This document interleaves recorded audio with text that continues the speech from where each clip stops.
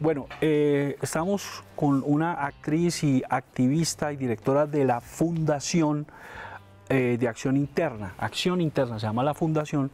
Yo soy director de la Fundación, el fin está cerca. Espero que podamos trabajar juntos. es una Leo ascendente Aries, eh, Luna en Escorpión.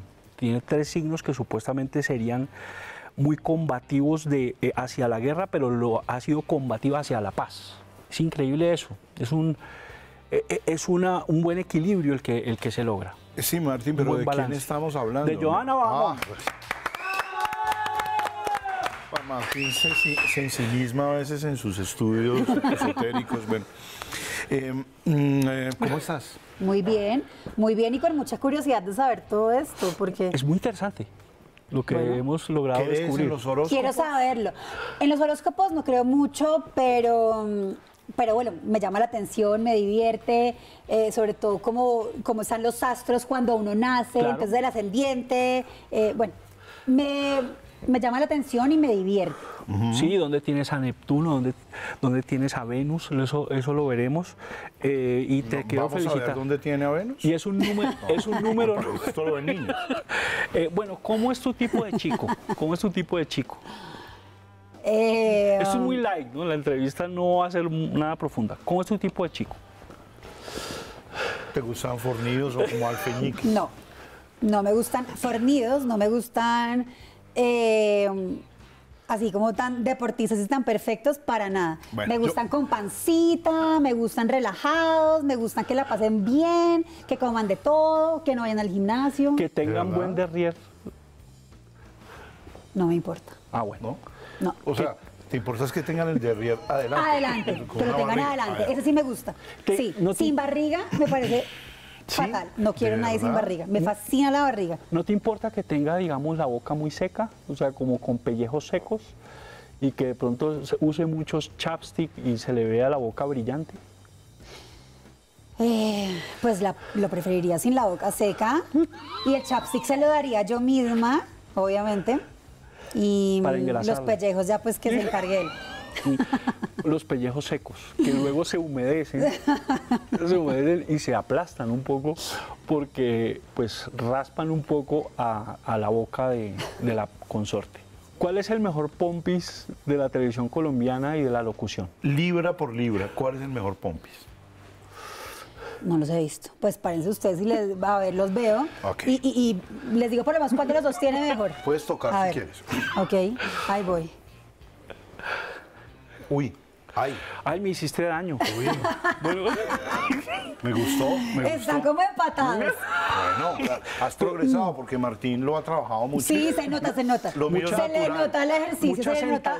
Sí. Pero sobre todo mucha Se que tiene el ejemplo de la hermana. Sí, sí, sí. Se le nota más trabajado. ¿Sabes? Es Yo levanto 100 kilos en, en Pero no estamos entrevistándote a ti, Martín, por favor. ¿Qué fue exactamente lo que, lo que viste para pasar a decidir y trabajar pues por las mujeres que están presas? O sea, ¿cómo, cómo se dio eso? Nosotros hemos trabajado con hombres y con mujeres. Hemos trabajado en 30 cárceles con 30 mil personas privadas de la libertad. Y a la primera mujer que me encontré ese día que fui a la cárcel le pregunté por qué estaba en la cárcel y me dijo, porque maté a mi marido. Se me pasaron mil cosas por la cabeza y a los dos segundos le dije, ¿por qué lo mataste? Y me dijo, porque lo encontré violando a mi hijo de tres años. Mi hijo Simón Cabas en ese momento tenía tres años, así que pude entender su situación y solo sentí como agradecimiento que no me hubiera tocado un marido como el de ella, porque seguramente yo hubiera hecho lo mismo y yo estaría eh, ahí pagando su condena. ¿Qué puede hacer una reclusa después de salir de prisión si ya es complicado, pues?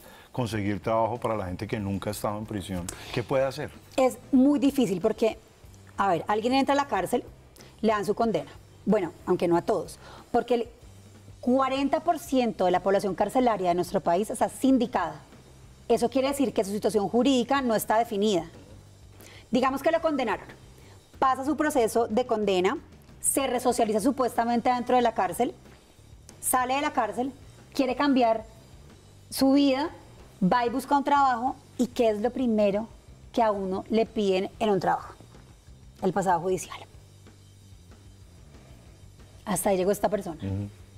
O sea que es un callejón sin salida. Es un poco un callejón sin salida, a no ser que nosotros, que es lo que estamos nosotros fomentando desde Casa Libertad, que es un espacio donde estamos el Ministerio de Justicia, el IMPEC, la Secretaría de Seguridad, Colsubsidio y la Fundación Acción Interna, a sensibilizar a las empresas y a las entidades para que entiendan que ya se merecen una segunda oportunidad, ya cumplieron con su deuda con la sociedad, ya cumplieron su condena y ahora depende de nosotros que esas personas tengan una nueva vida, una nueva oportunidad y sobre todo no tengan la necesidad de volver a delinquir, porque es que no es que quieran volver a delinquir, es que les toca.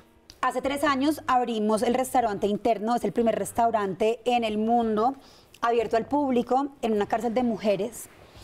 Eh, ya vamos a cumplir tres años y mm, todas las noches abrimos las puertas de la cárcel para que los clientes vayan y coman ahí y estén con las internas, que son las que cocinan, las que atienden. Ellas se, mm, se capacitaron durante un tiempo en cocina con los mejores chefs, porque nosotros hay una cosa en la fundación que decimos, no hacemos caridad, sino calidad. ¿Y por qué solo se enfocó en las mujeres? ¿Cuál es el, el ángel guardián de los presos, por ejemplo? No, eso, eso es lo que la gente cree, pero Ah, también. nosotros trabajamos Sí. con hombres y con mujeres. Empezamos con mujeres y empezamos con teatro Ajá. porque fue donde me invitaron. Pero a los tres meses ya estábamos trabajando en la modelo, en la picota. Trabajamos desde el principio con hombres y con mujeres. Ok. Bueno, ¿usted qué conoce? Además que la población carcelaria de mujeres es muy poca. Son como el 8% solamente. Debería haber más. eh, No, No digo, no, no. está bien. Lo que digo es que ya hubiéramos abarcado toda esa población. O sea, hay que abarcar eso, toda la población carcelaria, No, sí. solamente el 8% que son mujeres. ¿Alguna vez sentiste miedo? No, Nunca. O sea, No. desde la entrada No. primera. no, no. Son tan respetuosos, tan... No, me siento muy bien, muy bien. Cada vez que entro a una cárcel, trabajar con ellos es maravilloso, son disciplinados, son respetuosos, llegan puntuales a la clase. eh, Bueno, no. es que no tienen alternativa.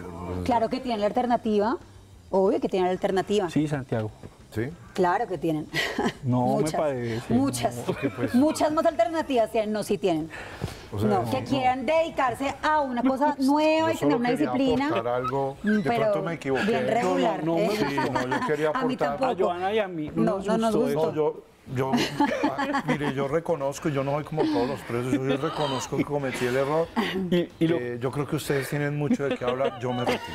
no, y lo más raro No, es que no, no me es insistas una que me persona, quede. y sabe que Yo Santiago soy es una buena persona, persona, buena. pero me confundo a veces. Pero súper sensible. Sí, lo es. Uy. yo soy- Lo es. no hablemos es. bien de mí aquí. Es un no artista. gusta. es un artista. No, pero sensible hablar. en la mala forma, no en la buena. No Ah, estoy bueno, hablando entonces, si vas- bien, si estoy hablando hablar- mal. Si vas a hablar mal de mí, aquí estoy. Bueno, eh, Joana, que conoce pues, de- desde dentro de las prisiones, trabajaría desde el Estado para mejorar las condiciones de las reclusas. Eh, Usted tendría mucho poder ahí. No hay media posibilidad.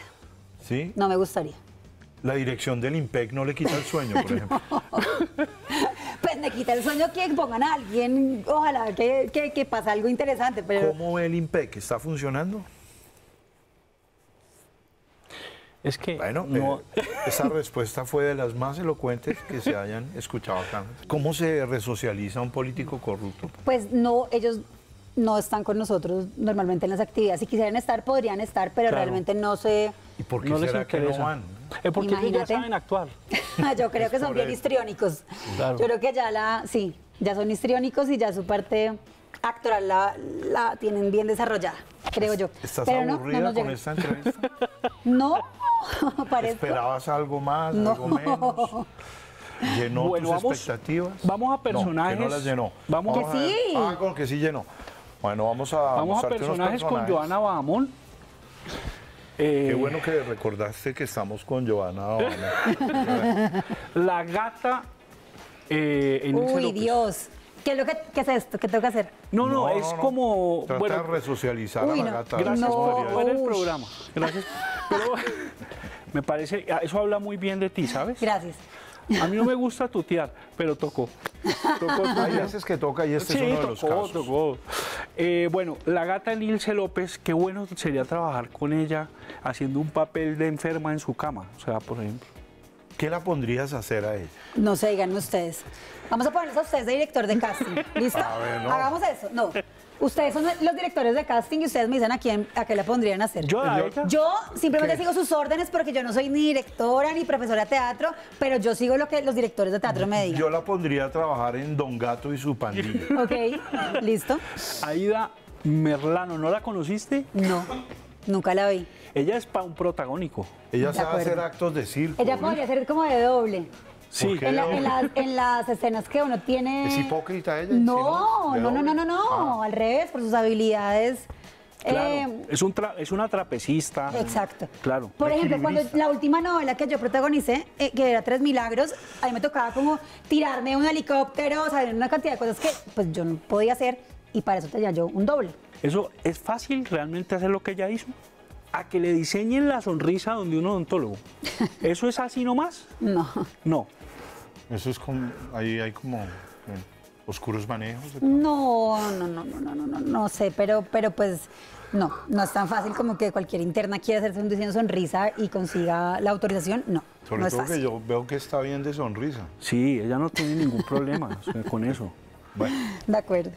Por favor, veamos a Guido Nule, que él está en una mansión por el cárcel. country club por cárcel. Una piscina de 200 metros. Una locura. o sea, La piscina de 200 metros no, es una. Y con cascada y. Me parece perfecto. Aunque, pues, eh, hay gente que lo reclama en la picota, que es donde. Gente está- mala. Sí, gente perversa, No digamos. Sí, la picota a alguien o alguien se merece la picota. Tú conoces la picota desde adentro. Eh, No, pero en el pabellón de corruptos. ¿Es en la picota es que están, ¿no? Sí, ¿Y, ¿Y tú eso? los has visto? sí. Y cuando los ves que tú habla- has hablado con ellos. ¿Cómo se ven? ¿Tristes, deprimidos? No. ¿Gordos? Gordos. ¿Sí? Y es un pabellón que de verdad no, No te interesa. Apesta. no, no, no, no, no, pero no. Es que no quiero hablar. Como. Fresca, no, no. no, no, quiero, no quiero, no quiero. Pero pues no es, no es lo que se merece alguien que ha infringido una ley y sobre todo sin eso. habiendo 7 mil personas que están hacinadas. No, Claro. susto, ¿eh? no, no, no está bien. A veces esos políticos corruptos te han dicho, eh, Johanna, venga, quiero hablar con usted y has ido o no, o no has hablado con ninguno de ellos. A mí cualquier persona que me diga que quiere hablar conmigo dentro de una cárcel, yo voy, sea lo que sea. Y fuera no. O sea, el Afuera. requisito es comete Tiene un que estar adentro de la cárcel, sí. entra a la cárcel Sí. y hablamos. sí, sí. Ah, Así, no, afuera no. Hola, Johanna, Si quiero está- hablar contigo. ¿Estás preso? ¿Estás no. preso? Ah, entonces no, chao. No. Sí. No, pero estoy a punto aquí. Ah, bueno, cuando Pues está en la cárcel, un cuchillo, sí. sí, si está en la cárcel, sí, el que quiera. El que quiera ¿Por qué? puede hablar conmigo. Pues porque es mi trabajo. No, no, digo, Yo pero no puedo decir poco- tú sí, tú no, tú sí, tú no, en la cárcel. Afuera sí. Pero es afuera no, lo- discriminatorio, solo atender a la gente que está en la cárcel. Mucha gente que no está en la cárcel y que se siente encarcelada fuera de la cárcel. No, pues que vayan a un psicólogo. Ah, Para eso no estoy yo. Veamos a una persona que no se ha robado un solo peso. Pero se ha robado el corazón de todos los colombianos. Pero pues, Ay, no. lo han- pues tiene peculado por apropiación de Por ejemplo, terceros. él, él tiene una escuela militar por cárcel. Exacto. ¿Eso cómo se Es una mansión de la escuela militar por cárcel. Imagínense que yo monto a caballo allá. ¿Y lo has visto por ahí llorando? No. que deprimido. No. ¿No? No, y hablando en serio, no sé ni dónde está. Nadie sabe. Yo monto allá a caballo. Yo en la escuela eh, de caballería. Pero no sé en qué parte tienen la, la parte de, de reclusión. No sé. Marta Lucía Ramírez, que ya está obsesionada con Venezuela, quiere que, pues quiere que seamos, que, que- que esto casi esté cerca de ser Venezuela para ella erigirse como la persona que nos va a salvar. ¿Has hablado con ella? La vi, la conocí en mi restaurante de ¿Sí? Cartagena. ¿Y qué Muy pidió? querida. ¿Ella qué pidió? ¿No te acuerdas? No, nadie pidió, solo nosotros les dimos como el menú que era, porque solo un menú en la cárcel. Y estuvo ella con el presidente Duque y con todos sus ministros, como a la semana de, de haberse posesionado el presidente Duque, y estuvieron ahí todos muy interesados conociendo nuestra metodología de intervención y qué pasaba en el restaurante y cómo funcionaba la fundación. Y bueno, ahí lo estuvimos y creo que les gustó. ¿Y el presidente no pidió que le empacaran otros platos para llevarse? Nada. Porque él muela brava es. Sí, pero no, todo lo que les dimos les Se lo pareció comió perfecto. todo. Se com- Sí. él Él comió- decía, ve, no te vas a comer eso, entonces él se lo, se lo servían a mí. comió Era un menú para cada persona, no había opción ni de repetir, ni de quitarle al otro, ni de nada. Ahí estuvo perfecto y todo les gustó y estuvo todo divino. ¿Y cuál es ese menú? Uno escoge una entrada, un fuerte y un postre. Entonces, en las entradas está tiradito, ceviche, en las fuertes está la posta, que es Mm. mi preferida, la pesca del día, y en los postres están los de Mila, que son cocadas o arroz con leche. Cada uno puede escoger uno y ya. No hay opción. Bueno, vamos entonces con, eh, con alguna persona que... ¿Por qué ponen esa foto? Creo que algo que comió no le sentó bien y... Pero es para, para dejarla mal, pero ella tiene mejores Ella ahí fotos. comió mangaviche, vea, con... Comió o fumó mangaiche, pero no, no sabe. No, no, no, comió, comió, ella no sabe. Comió. Bueno, es una persona ¿Ella no que... ha ido a, a tu restaurante? No la conozco. Ok. Nunca he ido al restaurante, no la he visto en la cárcel y No, ni la van ¿Cuándo a la ver ve? en la cárcel jamás. vamos a ver. cómo No, Joana, de verdad. Muchas gracias, Joana. Muchas gracias y, y Uy, aplaudimos mucho. Pues de qué faltaba más. No, pero si quieres, no, pero que seguir. como, estoy como colorada. Vamos a hacer no- una excepción Ya no y- quería y, que hoy hubieran vamos a hacer doble entrevista con... No, por favor, no. No, mentiras. Gracias a Joana Bamón y muy- aplaudimos lo que está Gracias. haciendo. Muchas gracias. Felicitaciones, gracias. Gracias. Por supuesto. Entonces, con más razón necesitas una dieta alta en fibra. La almorrana René, le digo, le digo yo porque se está poniendo verde.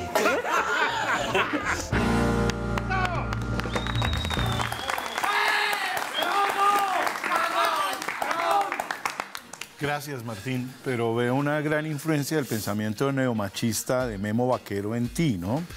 Que el hombre tiene que oler fuerte, comer mal, brincar sobre mucha ama, ¿no? ¿Cómo es la cosa? Sí, sí, no, y, y pido perdón por anticipado si estoy, pues, hiriendo alguna sensibilidad. No, tranquilo que en esta época nadie se ofende por nada. Lo que viene, Pep y Memo se enteran de que en Rusia no hay catre para tanta gente. Y nuestra invitada, eh, pues, Luli Bosa, o sea, ¿ah? No. Ya regresamos con este programa tan hipócrita. Con nosotros, Luz Elena Bosa Brieva. ¡Luli Bosa!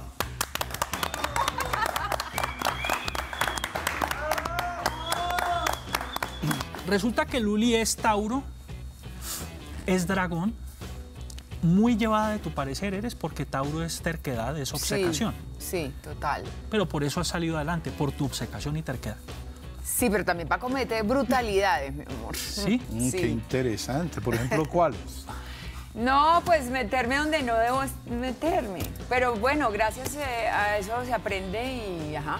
Por ejemplo, estar aquí. Estar No, aquí no, no, no, esto es eh, un acierto, total. ¿Sí? No, esperamos que sí, claro que ¿Tú te fijas en la dentadura del balón? Total. Es lo primero. Anda, sí, en las manos. ¿Sí? Sí, no, a mí que no me vengan con manos, con uñas sucias esa vaina, no. ¿Y No, uñas pero- largas te sirven? ¿Ya? Bueno, si te tocas la guitarra y la vaina. Pero, mano, por tocas ejemplo, la guitarra. mira todas las llantas que, he cambiado. ¿Sí ves? Aguanta. Eh, y, me- y, pues re- realmente me pone con el pulso titilante. ¿Tú Bueno, generas eso, Luli? ¿Tú lo sientes que generas eso No, mi amor. en el personal masculino? No. ¿No percibes las vibraciones de No, me dicen, pero no, no le paro bolas a esa vaina. Pero la- los dientes, o sea, son importantes, digamos, ti- tienen que ser ordenados, color o... Ay, no, pero o sea, sobre todo que haya como un aseo, como una vaina equilibrada, ¿me entiendes? Pero O digamos- sea, porque hablas de color, ¿qué color Pero- puede tener un diente para ti? No, por ejemplo, Color Marlon, marfil, es que Marlon es amigo mío, pues Marlon Becerra. pues él eh, me quiere blanquear las muelas y eso, pero que no se vean fluorescentes, tampoco, ¿cierto? No, yo no me blanqueo los dientes. O sea, ¿Qué te blanqueaste? No, yo no me he blanqueado nada, mi amor. Pero, eh, o sea, que No, estén, porque además yo soy súper sensible con esa vaina. No que estén recibo. desordenados los dientes, pero, pero, ¿Me estás hablando de ti? eh? pero blancos. Ya. Están tenaces, ¿no? No. ah, Por lo menos están. Luli, ¿tú te fijarías en un hombre que está vaciado, que, Ay, ya, no, mi amor, que ya hasta tuve, la risa por él? ya me mamé, ya pasé por eso. O sea, lo que tenía que hacer gratis ya lo hice. Que deba hasta la camisa. No. Bueno, un hombre que tenga todo, absolutamente todo, una solidez económica, pero que sude mucho. No le pongo Botox. No, ¿por qué? Pero claro, la, en la, la- la- claro, no exacto, para que sude ser. menos, existe. Pero no se empieza a hinchar, No. empieza a re- Y con los, poros abiertos que destilan oleosoya. O sea, un ¿A poco, quién me pero- estás describiendo, Martín? Eh, no, no, no, no. Digamos que, que, que segregue manteca y eso. ¿No, ¿Te molesta o no? Pues no sabría, a veces el amor me ha hecho pasar por unas cosas que la gente dice, pero ¿qué le pasó a ella? Por Entonces, ejemplo, ¿en qué caso? Digamos, sin decir nombres. No, mi amor, porque, o sea, no, yo me he metido con hombres feos, Sí. muy feos, eh, pero que tienen un encanto. ¿En dónde radica el encanto de un hombre feo? De pronto en, su, en, ser- en ese ser emprendedor que tienen, eh, en los talentos, eh, salió con hombres gordos, Con un hombre muy gordo. ¿Y caderón? Pues gordo, gordo, gordo. Pues has visto un gordo que no nalgón. caderón. Eh, O yo, sea, gordo yo soy todo. barrigón y no soy caderón. No, no, esto es, Es que tú no estamos hablando de grandes ligas y, tiene, y ese tiene... Estamos hablando de grandes sí, ligas, ¿no? no, en cuanto a gordura, pelota. Ah, Sí, No, pero me gordura pelota, o sea, de, Oye. de pelota gorda. ábranse los dos. de una pelota. ¿Qué opinas de los hombres que se tiñen las canas? Y por teñirse las canas nos referimos a los hombres que se pintan canas. No, Martín. No, pero le queda a mí es su cana. No, no, Y porque para un candidato a la presidencia, ¿le, le sientan las canas pintadas? Ay, a él se le ven bien. Pero A, mí- al Du- a Duque se le ven bien su, su cana. Lo que tiene que hacer ejercicio. O mira qué hace con... como es- caderón, ¿no? ese sí está Ese, mm, ese está... Es Ajá, que él es socio del Nalgón Club. Y, y te gusta él, la- te gusta, te atrae también, tanto ¿Qué? como presidente o como... Me gustan unas cosas de él y me gustan unas cosas de Fajardo. Me gustan los dos. Pero, pero ¿Qué es ¿cómo es esta esta incom- pero si Sí, son no. el polo opuesto? Yo sé, eso me lo dijeron por Twitter y no, pues es que lo que pasa, eh, ¿qué me pasa a mí con, con Fajardo? Cuando el hombre eh, quiere exponer las ideas, como que eh, tiene los enunciados, me los deja medias y yo sufro. Y en cuanto a Duque, tiene cosas muy bacanas, es un tipo economista, es muy aterrizado, pero entonces no, no, no estoy de como, estoy como ahí con el cuento de las cortes, de, de eliminarla y dejar una sola. ¿Eso te preocupa? Eso para mí es preocupante porque entonces, ¿qué? Los manes que ya pasaron por la presidencia y si dieron alguna embarrada no los van a juzgar. No, no, no. ¿Cuándo te dio, te picó el gusanito de la actuación? Yo eh, hice una cosa porque para una sesión solemne eh, siempre recitaba una chica en el colegio, eso fue un cuarto de bachillerato. Y entonces eh, yo dije, pa' ver, ran, y, y agarré, ¿no? Y empecé a leer y toda la gente terminó llorando. Así de mal lo hiciste. ¿Por qué eres tan buena actriz? Sí, ¿Por mira, qué crees que eres tan... O sea, porque eres excelente, además. ¿Y cuál es tu más grande talento? No, yo creo que la veracidad. Yo, yo pienso que alguna vez eh, alguien, un compañero me dijo, vas a sufrir porque vas cada vez que entras a la escena dejas el alma ahí. Y yo pienso que los actores que hacemos eso tenemos un- una cosa conflic- conflictiva muy fuerte por dentro cuando hacemos eso. Pero ¿no? esa sensibilidad es como el precio que hay que pagar, porque de eso te nutres también, pero también lo sufres en tu Sí, vida. pero el- lo que está pasando con el medio es un poco eh, descorazonador. Está desapareciendo el medio. Em, Solo quedan los extremos. Sí. sí. O sea, o muy malo o muy bueno. Eso pasa en- en- para la televisión. Escuchen esto, ah, ah, pónganlo en piedra. O sea, en la, para entrar a la televisión hay que ser o muy feo o muy bonito. O muy bruto o muy inteligente, ¿es verdad? Extremos, nada de centro. Por ejemplo, Fajardo en televisión, muy No tiene agarre. Duque y Petro, sí, extremos. ¿Estás aburrida con la entrevista? Pregunten otra joda, Ah, no, tengo otra cosa. ¿Qué crees? es? Sí, No, pregunta no. Pregunta tú, pregunta tú. ¿Cuál ha sido tu trabajo más difícil, oye? Em, la mojiganga en Sancos. Un personaje que hacía en Sanco es muy impresionante. La muerte. La muerte. La muerte. De esa época en que el Teatro Nacional hacía grandes montajes. La Celestina, por ejemplo, La Celestina. La Claro. Celestina después con Fanny. Calixto y Melibea. Eh, sí, La tragicomedia. sí. ¿Qué- ¿Por qué, Maravillosa. por qué ahora no se hacen ese tipo de montajes? ¿Es un problema económico? Seguro, sí, no les dan los números y quieren cosas que sean más fáciles. Uno, por O ejemplo, sea- va y propone un monólogo y le dicen a uno, oye, pero no, no se puede hacer con menos actores. Una voz en off, por ejemplo. Y que haga reír, porque eso es imprescindible. Solo ¿no? quieren reírse en el teatro Sí. ahora. Hablemos de la obra que estás haciendo ahora. en este Estoy momento. haciendo infieles, infieles la venganza. Son cuatro am- amigas de extracto muy humilde, pero que cada una decide para dónde va. Ellas se reúnen a hacer pijamadas y en una reunión de esas eh, eh, empiezan a, a- a frentearse a ver si son capaces de decir lo que hacen con sus maridos para tenerlos ahí. Y sale la infidelidad. Y en esa infidelidad se destapa un gallo de un favor, una generosidad que una de las amigas hace con Bueno, yo- nosotros. es un programa que dice cosas, pero es que eso ya me parece muy Sí, vulgar. está un poco ¿Sí? fuerte que la infidelidad se destapa al gallo. ¿Cómo Sí. así? ¿Alguna vez te dio fastidio hacer escenas de amor con, un, pues, con otro actor? ¿Por algo? ¿Por algún...? Sí. ¿Te pasó? Sí. ¿Y te tocaba? Sí, claro. ¿Y qué Pues te eran historias de amor y escenas de amor.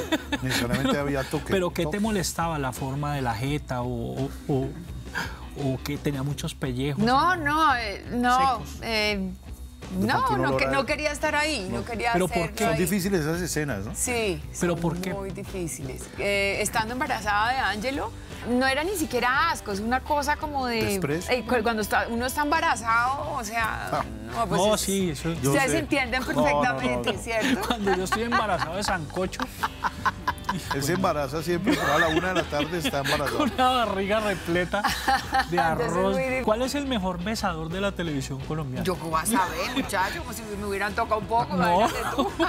No, siempre haces papeles que te toca apelar al beso en la escena. Tengo bastantes recuerdos, pero no, no que yo pueda decir que alguien me bese así delicioso. Es que uno en, en- en esa vaina con todos los camarógrafos alrededor, horrible. esa Pero vaina, Pacheco no. dice que besaba rico, ¿no? No sé, mi vida, ¿tú qué piensas? No, pues yo lo Tú que tuve. trabajaste con Pacheco lo puedes decir. ¿no? Sí, o sea, No, a mí- no, porque él tenía como la boca floja, como floja. Uy, pero no. respeta, no jodas. Es, una, es- es horrible. Respeta, oye. Para ti, ¿cuál es la mejor actriz colombiana? Luli, para mí Luli. Bueno, dejemos a Luli del lado. Aquí está Luli. Mira, tu hermana es muy buena. ¿Cómo? Déjela quieta. Para Margarita es la mejor, libra por libra. Es muy, muy, muy buena. Em, No, nosotros somos buenísimos, sí. muy buena. Sí, sí, pienso que está como en esas grandes ligas. Oye, gracias, de verdad, porque cuando- no sé, yo me siento como tan orgulloso cuando me ¿Sí? dices eso, sí. Y actor, Actor, hay una camada muy buena de chicos que, está, que hay ahorita. una camada de perros, muy buena. No, no, en serio. Una jauría de nuevos actores. ¿Sabes que no hay galanes, galanes otoñales en este país? No, lo, lo- Mi papá, Carlos Fernando Galán, ahí está. Ábranse los dos, No, es mi en papá serio. está los- bueno, mi papá no, está- hasta ahora creo que viene una generación que se está cuidando y eso, pero em, ¿Se está cuidando de qué? Perdón. me gusta mucho ese chiquito que De- hizo eh, de que no la eh. Popeye, el, este, ah, John Jairo Velázquez, es un gran el actor, comediante. Juan Pablo Eslava, que se llama. A mí ese niño me gusta. ¿El que hace Popeye? ¿O El- el, el- o- el Ah, es actor. Ah, el actor, no el Popeye original. Ay, a ver. De no. Sailor. Ok. Sí, sí, listo. Popeye. Ese chico me parece que es muy, muy bueno. Vamos a una sección que, pues, vemos un personaje y tú dices algo, una frase. Ahí, ¿qué está diciendo? ¿Qué, le- qué está oliendo? Algo le olió mal. No, y es de esperarse porque, pobre, está más rodeado que siempre está. Y que siempre le hacen tantas maldades como gente por ahí como ruedas sueltas haciéndole vainas. Desde el impuesto al patrimonio, yo quería estriparlo. o sea, porque eso además tenía un vacío legal. Ay, me voy a meter en ese Sí. No, horror. No, qué buenos argumentos estás dando. No es cierto, es cierto. No, es que eso tenía un vacío legal, parce, porque es que aquí me, me, me cachaquicé ya, mira. Cuando hablas en serio, hablas cachaca. No, no, no, es que ¿sabes qué pasa? Que cuando el man, y a mí me lo decían los abogados, porque no sales a los medios y dices eso que, me- que nos estás diciendo. Y era que había mujeres, yo tenía, ah, pues, gente conocida que tenían los esposos secuestrados, las cuentas congeladas por el gobierno para que no pudieran negociar, madres cabezas de familia con hipotecas berraquísimas, con hijos pagando. ¿Cómo, cómo le vas a poner un impuesto al patrimonio a una mujer que a duras penas puede pagar la cuota de la casa, ¿sabes? O sea, no, Era para financiar la guerra. no la chimba. O sea, no. Muy bien. No. Eh, qué guerra O que era sea, ahí no. Para financiar la chimba Y también se y el necesita modelo, y el modelo. billete. Se No, necesita billete. ¿no? Pasemos a, a Gustavo. Entiendo perfectamente el encanto y la seducción que produce este tipo. ¿Por qué? Sabe, el tipo sabe, pero... ¿A es qué una- sabe? Él tiene, tiene una línea muy peligrosa entre lo que dice y lo que puede llegar a pasar. Pero ¿por qué crees que no lo pueda lograr? ¿Porque no lo van a dejar o qué? No, no, no, no es eso. Entre otras cosas, ¿con quién gobernaría? Porque el Congreso todo es de Uribe, ¿no? Pero de eso se trata, que haya independencia de poderes, ¿o no? Supuestamente. ¿Y entonces qué? ¿A punta de, de decretos? ¿Te da miedo la constituyente Sí. de la que habla? Sí, sí, a mí sí me parece que hay mucho montaje, igualmente a uno le llegan muchos mensajes de cosas que dicen de Petro, pero me, yo los fines de semana me pongo a ver las entrevistas que han hecho, lo que eh, y, yo lo que pienso es que uno no puede gobernar con soberbia, o sea, y yo lo siento a él de esa manera. ¿Lo sientes soberbio? Supremamente. ¿Arrogante? Supremamente, sí. Pero no será- Pero, pero sus propuestas son muy coherentes y es el tipo más que tiene más congruencia entre lo que ha dicho y lo que ha hecho. Observemos a dos personas muy importantes en la vida de Luli. Jack Nicholson y Ken Love. no, es que Jorge Ali tiene un parecido con Jack Nicholson. Sí, es verdad. Es verdad que sí. Es muy interesante. Eh, Fanny, me hace mucha falta. ¿Tú sabes que yo soñé con él recién, ella, eh, con ella después que se murió? Todos, todos la recordamos como si estuviera viva. Y Jorge Ali, gran maestro de todos nosotros. Sí, eh, mucha enseñanza, mucha enseñanza. No sé cómo, cómo esté ahora porque no lo he vuelto a ver ni sé nada. Está espectacular. Tienes que ver. El mejor hijo, que nunca. el hijo, el hijo está haciendo cosas muy chéveres. Rodrigo, claro. Rodrigo está haciendo cosas muy bacanas. Pasemos a una de las personas más importantes de, de- de Colombia en el campo de la un moda. ufólogo, un, un estudiante de los fenómenos paranormales. Ha acabado de bajar de su platillo volador. No, mentira, ese es, es Alfredo, De los anillos de Saturno. Alfredo, la locura total Barraza. Alfredo. Iti Barra. No. Mi amor, ese man. Un duro, ¿no? Alfredo, ¿Para qué es duro Alfredo? el interplanetario Barraza.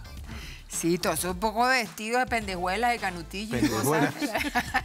¿Y sabes qué nadie dice de Alfredo? Además de todo, que tiene un cuerpazo. Mi amor, no se lo he visto. Es que muy pocos han tenido la oportunidad de vérselo como tú has tenido, porque él usa como unas túnicas. Man en vestido de baño. No, no, es que nadie sabe eso. Fíjate que no lo Es manga. No, nadie ha sabido. manga? Nadie los, lo, lo puede ni siquiera imaginar. Este man es en manga, en pero manga, manga por hombro es eso. Este man, este man cuando baja en vestido de baño al lobby del hotel con un secador en la mano. Una de, la- de las imágenes más impactantes que, que uno puede llegar a ver como ser humano es Alfredo en chores. Ah, Eso es una... Es una Locura furiosa. Solo hay una imagen más fuerte que esa, y es él sin chores.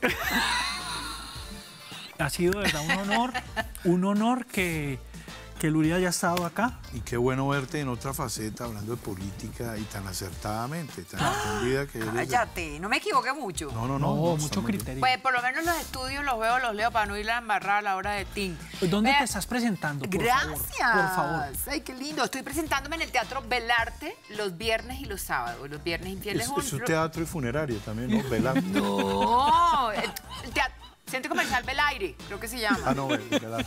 Y el teatro se llama Para enterrarte, no friegues allá. Y estamos todos el Velarte enterrarte, Sí. está bueno.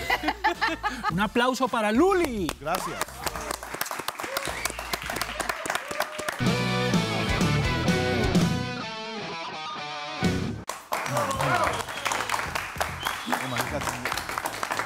Qué pena con Luli, tengo una chucha. Ustedes, la que tiene muchos laureles en los anaqueles, Mágida Isa. Qué pena. Se qué cayó pena. esto. Qué pena, pero ese es nuestro público. Qué pena. Es un público, los míos. es un público atarbán. Peligroso. ¿Qué tal, Santi? ¿Tú qué? ¿Qué cuentas? Muy bien, Martín. Qué alegría estar acá eh, con ustedes dos, pero no con nuestros televidentes. Mira, yo ¿Verdad quiero rico mucho. compartir con, con Santi? Es rico, vas a ver lo rico que es compartir esta entrevista No, el, con el nosotros. placer es para mí compartir con ustedes dos. No, no, no, el placer es nuestro. No, nos pongamos. Pase usted, no, después No, no, usted. es- sí, es algo así. Mayida, usted vivió los primeros años de su vida en San Andrés, hasta los 12 años, ¿verdad? Sí. Mm, ¿Cómo es ser una niña colombiana en San Andrés? Yo siempre digo que es- eso fue como vivir fuera del mundo. Yo me di cuenta cuál era el mundo real a los 12 años que llegué a Bogotá. Realmente sí vivía como en un, en un cuento de, de hadas. En una isleño. isla vivía. un cuento de hadas isleño, Rastafari. y, y, y- y cuando me di cuenta de que era el mundo real, sí me sorprendí mucho. Me costó mucho trabajo. Eh, una vida muy segura. En esa época San Andrés era un lugar muy seguro, dormir con las puertas abiertas, las ventanas abiertas, eh, eso es estar descalza todo el tiempo. Eso genera en uno unas, unas maneras de comportarse y de pensar muy distintas. Entonces cuando llegué al mundo real dije, Dios mío, ¿cómo así? La puerta cerrada todo el día, esta sensación es rara. Yo venía mucho a Bogotá a visitar a mi abuela, que, que mi abuela vivía aquí, vivió aquí todo el tiempo, pero ya vivir aquí me costó mucho trabajo. Para usted, ¿qué es lo mejor y lo peor que viene con la actuación? Por ejemplo, dar entrevistas. No, eso me gusta. A mí Eso me pueden tener mejor. aquí hablando uh, todo el día si quieren. Ah, ¿le gusta Yo para conversar soy buena, sí. Pero eso es muy raro porque los actores no lo consideran como un, un anexo no muy agradable para su profesión, tener que dar entrevistas. No, a mí lo que no me parece anexo agradable es tener que ponerme el tacón, el vestido, irme a la alfombra. Eh, sí. La gala, por ejemplo. Eso me pone premios. nerviosa, los premios, me pone nerviosa, me pone nerviosa el tema de saber qué me voy a poner, me, me pone nerviosa. Eso sí me pone muy nerviosa y creo que no lo disfruto tanto. Mejor no ir y, digamos, aceptar el premio porque tú has ganado premios. Aceptarlo, digamos, vía satélite o vía microondas. Mira microondas. Mandar, mandar a alguien, como hizo Marlon Brando, podría haber mandado a un indígena, un Como, guayú. como hizo Marlon, Marlon Moreno. Marlon, Moreno, Brando. no, él iba personalmente. Lo que pasa es que iba caracterizado con diferentes personajes y no se reconoció. Marlon No sabían Brando. que era él. Marlon Brandon Moreno. Bueno, eh, a ver, esta es una pregunta obligada. Ahora que, que nos estamos eh, metiendo más en temas de farándula, que es uno de mis temas preferidos, y modestia aparte, yo soy una de las personas que más sabe de farándula eh, vallecaucana y bogotana. Pero Martín, estás a dos modestia aparte de ya no ser, ya no ser modesto. Eh, a ver, las escenas de cama antes o después del refrigerio. Antes. Pero eso lo pide por contrato. o- Antes, no, eso no se lo aceptan a uno por contrato, pero uno quisiera, porque cuando uno tiene escenas de cama, eso es una mamera. Eso es asqueroso. Decir, no puedo almorzar. O sea, que voy a almorzar, no me voy a comer esta vaina que tiene ni ajo ni cebolla, ni no, salsa. esto sabe, no, que no, que pena con el compañero. Eh, entonces comes algo y se te infla la panza y tienes que estar en bola en la cámara y uno tratando de meter barriga, de pensar en la cámara, de estar con el otro, de que no se sienta incómodo. No, esa vaina es una cosa Es incómoda. Pero- y por ejemplo, la, la boca cuando tiene pellejos secos. Eh, ¿La has sentido o, o prefieres una boca que no esté No, yo, reseca? yo tengo que confesar aquí en la tele letal que a mí me han tocado las varias experiencias. O sea, sí, boca reseca, boca humectada, buen aliento, mal aliento, aliento con cigarrillo, sin cigarrillo, se le tiene diferentes sabores. Claro, a uno le toca, son diferentes compañeros, todos tenemos buenos días, malos días, y a uno le toca. ¿Pero como a atarse. tinto o qué? O sea, No, eso tinto es un, el, el pico, pues. Pero es que, ¿sabes ya qué hago yo? Yo cuando tengo esas escenas tengo en mi retoque, que es una cajita así donde uno mete los polvitos, eh, los Kleenex, no sé qué, las cosas. Uno tiene ahí una cosa de estas de menta. Y uno le dice al compañero, venga, venga, Sí, papito, abra la boquita, titi. Ah, ¿verdad? titi. Un desodorante bucal. Exactamente. tu gran maestra fue de pronto tu abuela Teresa Gutiérrez, una institución en Colombia. Yo, entre otras cosas, yo conocí a tu abuela. eh, yo pues eh, he sido un paracaidista en esto de el medio y yo, y yo llegué a, y, y, pues antes de entrar a vestuario, pues tu abuela decía que yo era un desastre. Eh, el hermano de el hermano de Margarita, eso es un desastre. Pero conocía tu carrera. Eh, o sea. Era una carrera embrionaria en ese momento, pero ya se veía. por dónde vivía. Pero digamos que fue, fue tu maestra y ella era muy... Ya después nos conocimos más en la tele y fue muy querida. Ya fue un- pero ahí en ese momento, pues sí, ella no vio talento. No vio, te, no te vio hecho un desastre. Sí, un desastre. ¿Cómo entraste? Eh, no, ¿Cómo te vio? Por ¿Cómo? La recomendación. pregunta no es cómo, sino por quién. Re- por recomendación de mi padre, yo había hecho dos semestres de administración de empresas. Pero ¿qué semestres? Yo vi las notas. ¿Qué semestre? Repetí segundo semestre y, Los profesores estaban tan Repetí. contentos. Los profesores estaban tan contentos. Pero, pero digamos, eh, al margen de ello, eh, tu, tu abuela fue tu gran maestra. ¿Cómo fue esa relación y esa importancia de ser la legataria, la heredera? ¡Sata madre! ¿Por encima de Miguel? No puede ser. No, Miguel, Miguel Veloz. Pero heredera. Miguel heredera del talento. Bueno, pues, Miguel Velote. Sí. A ver, eh, hablemos de esa, de esa correlación. Mi abuela sí es una de las personas más importantes de mi vida. claro. Importantes, muy importantes. Eh, yo no, no me atrevo, no, no, tengo cómo contarles si ella me hablaba de actuación o no. Ella nunca me habló de la carrera, nunca me habló de la profesión. Yo no sabía que yo iba a ser actriz hasta grande, ya me gradué del colegio y lo decidí estando en el primer semestre del Teatro Libre, pero no era una decisión tan clara para mí en la vida. Entonces nosotros no teníamos ese tipo de conversaciones realmente. Eh, lo que sí creo que yo veía todo el tiempo era su disciplina, el amor por su profesión, era realmente radical para tomar decisiones, su fuerza, su entrega, su, su coherencia, lo que decía con lo que hacía, como vivía la profesión. Y siempre la admiré en todos los aspectos de su vida. Entonces sí es una persona, un referente para mí, yo hablo de ella en presente porque yo la siento muy cerquita a mí siempre y creo que es como mi angelito.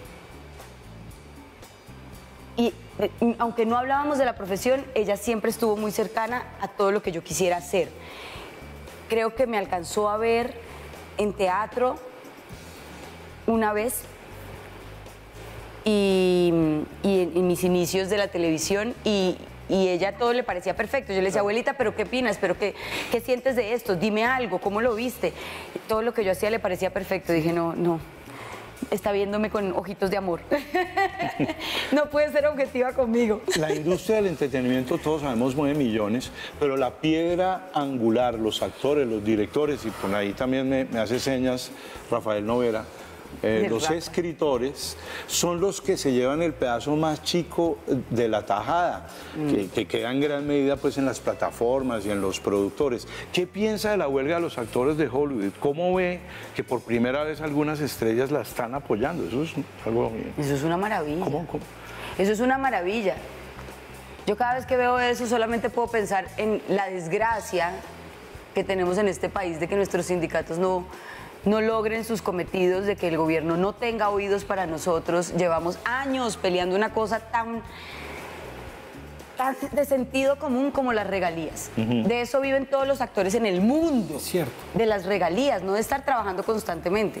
Claro. Y nosotros llevamos tratando de convencer a la gente aquí después del gobierno de Gaviria que tuvo a bien quitarnos esa ley de regalías.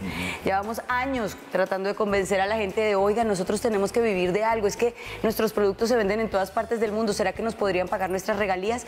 No, es imposible en este país que alguien piense que eso es un derecho y que es lo mínimo que deberíamos tener. O sea, imagínate, yo sería la primera que estaría así con el cartel. Pero es que además una cuestión de justicia. La persona sale y sale a los 3 años, a los 10 años.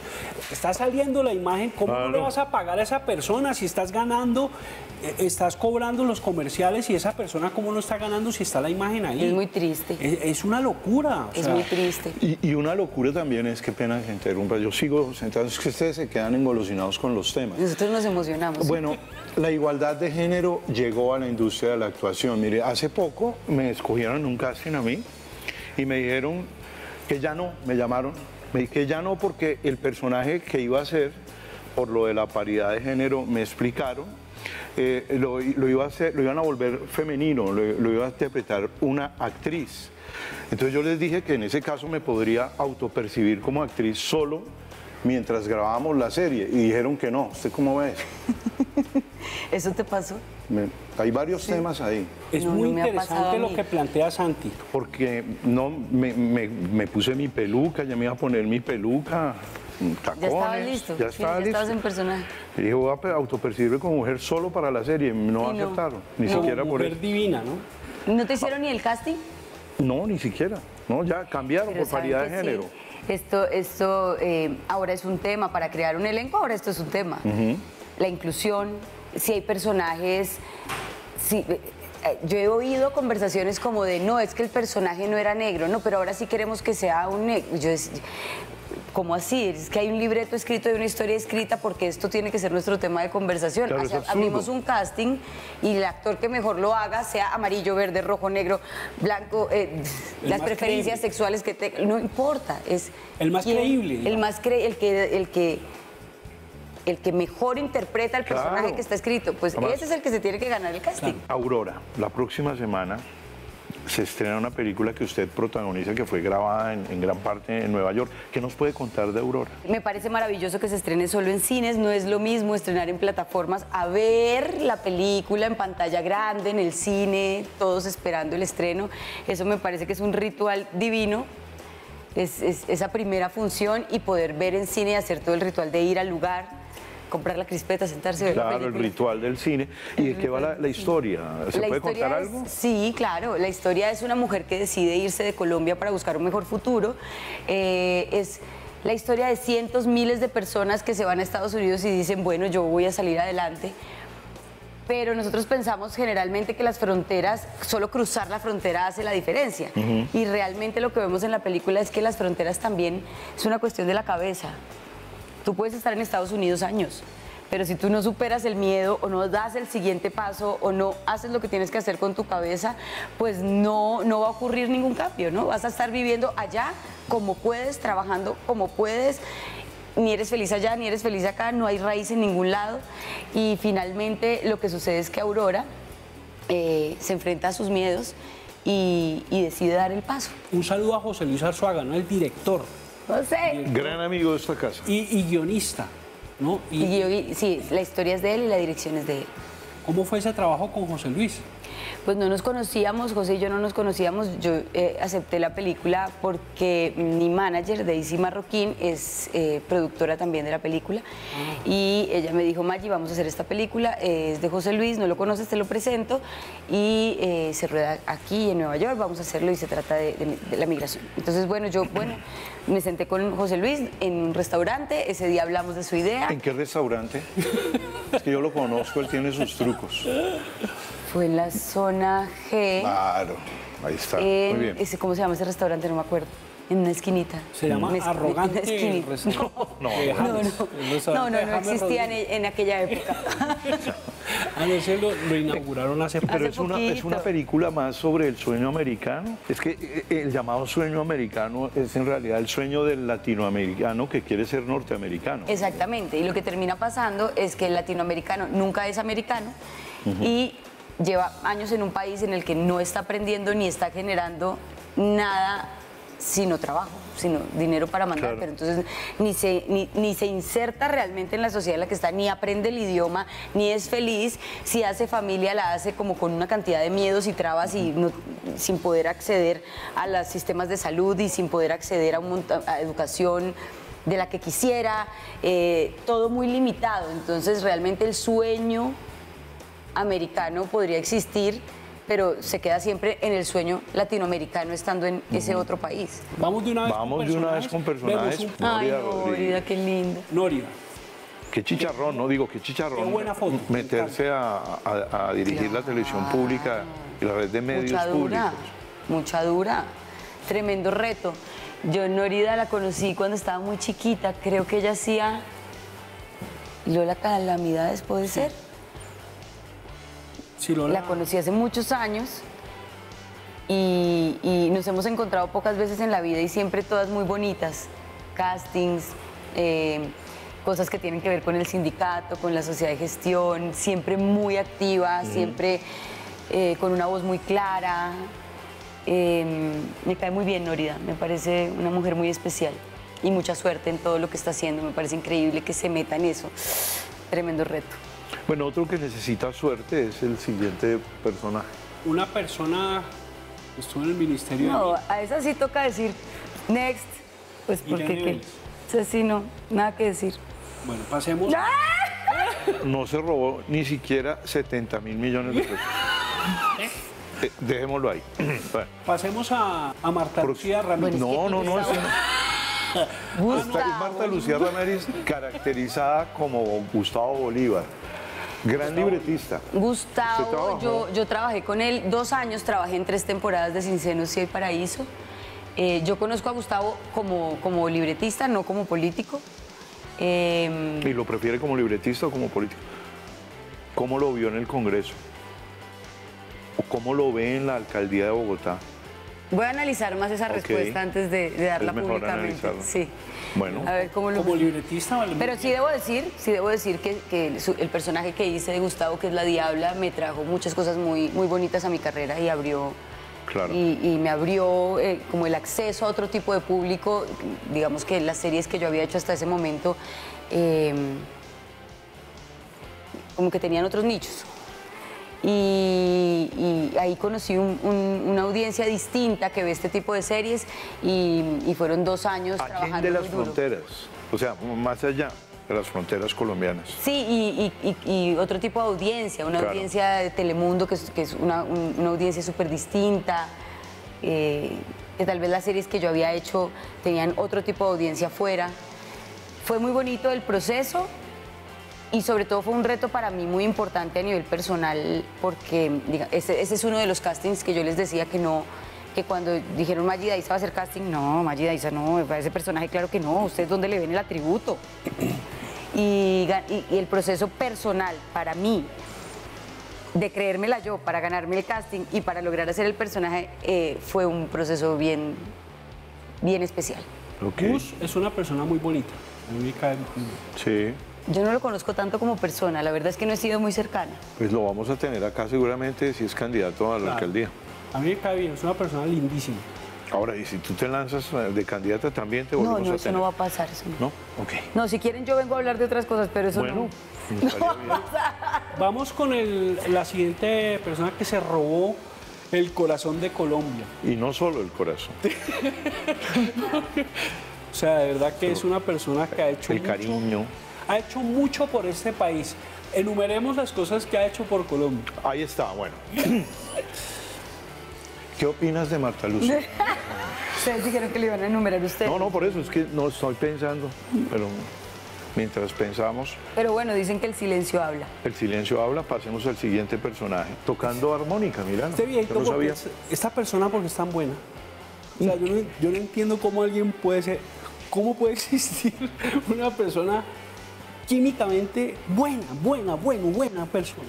¿Con quién estará hablando? Químicamente, ¿Con quién estará hablando ahí? ah, sí, es un Y señor. nunca, en, en la época en que se discutía la ley del actor, él estaba de presidente. Yo me acuerdo Sí. que fui una vez a, a una sesión, éramos como 40 actores, eh, él llegó tarde, eh, se sabía el nombre de todos y al final dijo que no nos podía atender, pero que nos dieran un sanduchito a cada uno. Muy generoso. Sí, a ti te pasó eso. Yo en las plenarias que fui, era siempre muy perceptivo. Bueno, de varios, de varios puedo decir eso, muy perceptivos como a entender qué era lo que pasaba con los actores, pero pues al final de cuentas, como para los dirigentes de este país, ser actores como un hobby, pues Exacto. ahí seguimos esperando las respuestas. Samuel, él hubiera sido importante con todo ese poder el tema de las regalías, por ejemplo, que es un tema de justicia con el actor. Pero eso lo dejan ahí, No, pero las leyes están, pero no se cumplen, ¿no? Pasa como muchas cosas acá. lo dejan ahí tirado. Es una tristeza. Es una tristeza. Difícil hablar de este señor porque tenemos muy poco tiempo del, progra- del programa y además después eh, eh, cualquier cosa que uno hable de derecha o izquierda se vuelve un tema álgido en este país. Claro. Eh, rematemos con la cereza en el pastel. ¿Qué vas? Ah, no, es que los dejaste a los dos para el final. Claro, el presidente. Los dejaste a los dos para ¿Cómo el este final. año de aprendizaje? ¿Cómo ves a Gus? Gus, es mi amigo, mi amigo Gus.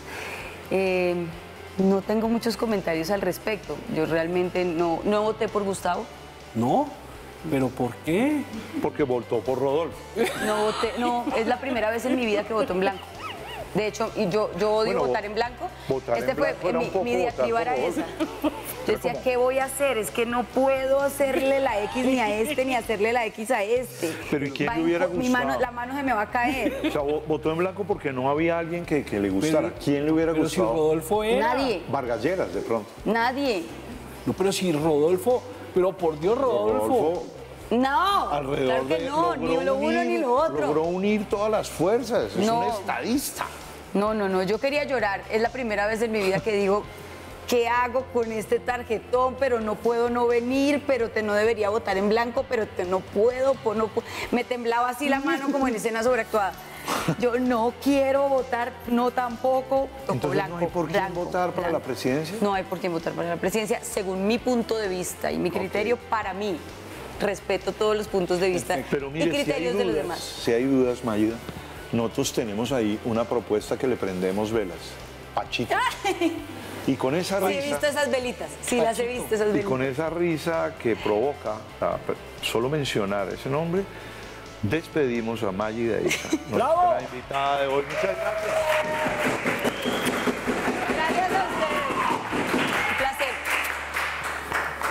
Gracias a